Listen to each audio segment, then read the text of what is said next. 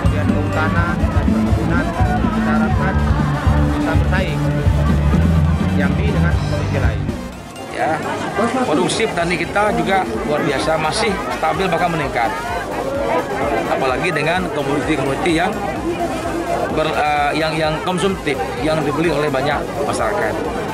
Oleh karena itu harapan saya ke depan petani ini kita bina betul komoditi unggulan yang kita anggap mampu menambah kontribusi untuk daerah ini kita perkuat kembali.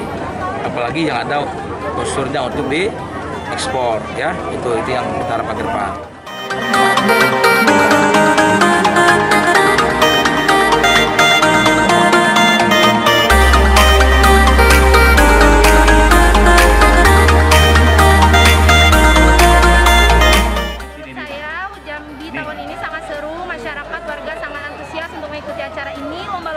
dompet uh, ah, ini namanya banyak dan juga kan? dompetnya lumayan seru dan banyak. Jangan naik pentas kalau.